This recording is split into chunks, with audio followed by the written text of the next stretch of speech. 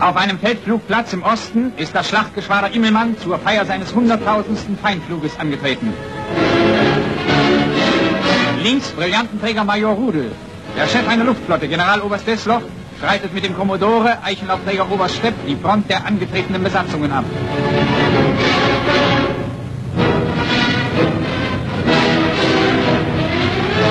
Zwei neue Ritterkreuzträger des Geschwaders Immelmann.